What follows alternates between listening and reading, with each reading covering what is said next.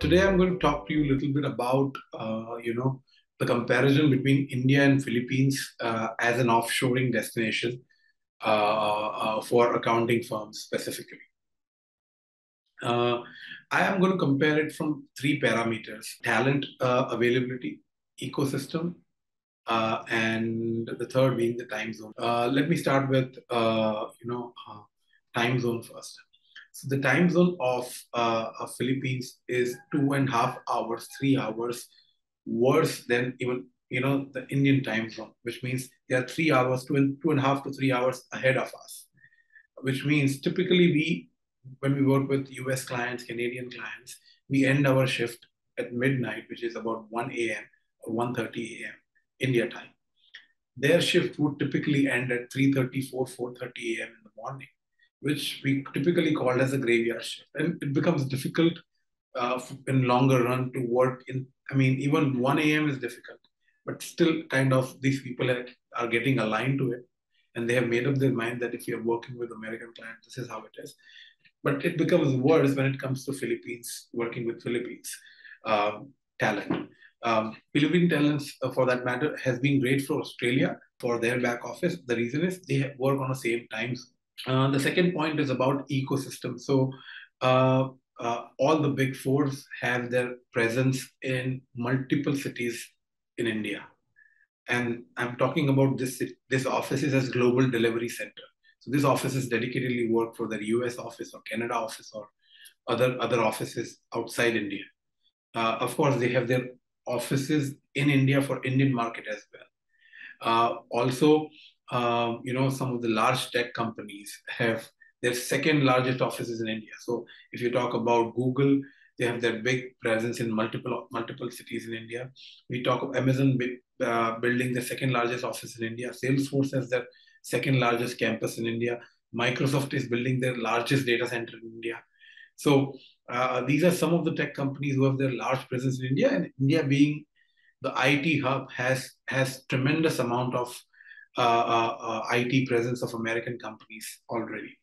Um, some of the Fortune 500 companies have their back offices in India as well. Some of the accounting tech companies like Intuit and Thomson Reuters have their, you know, uh, dedicated back office in India, and this is the largest amount of talent that they have after their US in terms of headcounts. Um, some of the top 100 accounting firms who have dedicated office in India, they, they have come here and set up their own offices.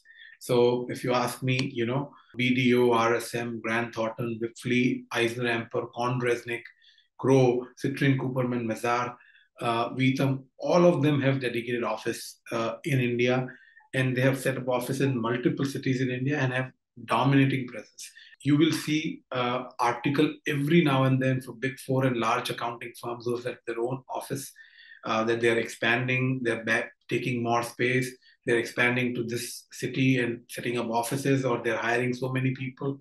So this is a kind of phenomena uh, this is kind of you know which is going on since last seven eight ten years but post pandemic it has just skyrocketed. Um, we at Entigrity are partners to 30 of top 200 accounting firms so we are also helping them in building their uh, offshore team, and we are growing, and we are helping them grow as well, uh, and helping them build their offshore team. So this talks a little bit about you know how much ecosystem is growing, how much talent is available. Let me talk a little bit about talent development. So when it comes to talent development, it you know the, the direct question you ask is, uh, would I be able to find US CPAs? Would I be able to find EAs or US CMAs for that matter? Um, so uh, just to give you a glimpse of it is US CPA, you can now become US CPA sitting in India. You can give exams in India. You can become EA by sitting in India. You can become US CMA by become, sitting by giving your exams in India. So these three designations are truly becoming global. CPA, EA for that matter. The number have just multiplied. Uh, the number of people pursuing CPA, EA have just multiplied, maybe five, seven times what it used to be before pandemic lot of institutes have come up who are coaching for CPA, EMA. I mean, Beckers and Surgents and, and Gleims of the world have set up and, and, and have partnered with a lot of people in India. Uh, uh, Miles is one of the prominent partner, prominent company providing CPA education as well in USCMA as well. So a lot of education companies, almost, I mean, two dozen of them we know uh, who have, you know, who are, are actually providing education for CPA, CMA, CIA, uh, CFE, US uh, CPA, US CMA as well. So this is overall building of the whole ecosystem. And um, and actually a lot of people are pursuing previously pursuing US was not a main career. In last two years this has changed. People after the graduation are pursuing this as their main career opportunity building a career in US tax or finance industry um, when you compare this with uh, uh, philippines uh, I did a little bit of Google search. None of the top 100 accounting firms have their office in Philippines as a part of the global delivery center. I could be wrong here, but nothing came up in my research. Uh, I was looking for can you become US CPA sitting in Philippines, and nothing significant popped up uh, as well in my research. You can definitely say that I would be a little biased here. Well, I did a reasonable amount of research, and and I'm uploading this video and putting this links as well uh, for you to review. Uh, so well, I did not, nothing came up in my research which could really vouch the ecosystem. Well, one thing I would like to say positive about Philippines as a nation is English education has, has been emphasized since the, the very beginning of their schooling.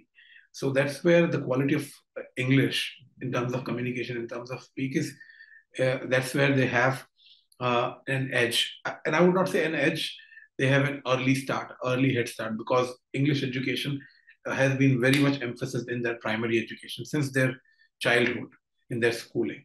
Uh, so that's where you know you'll see a lot of customer support, contact center, voice support center of multinational companies and outsourcing companies there. So they are good at customer support and voice support.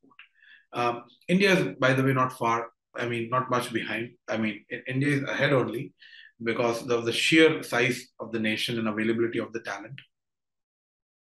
So India is India has the second largest English speaking second largest English speaking country in the world after US. Um, India has the talent, but somewhere Philippines, uh, if you ask me, can compete would be on that front. On accounting side, I don't know US or Canada or UK. They have any ecosystem through the through the through the research that I did. But do your research. I'm putting uh, some of the links for your review in the comment section of, of this video and uh, that will really uh, help you understand uh, this better. Thank you for watching this video. I hope this video was would be able to give you some insights on, on taking the decision. Thank you.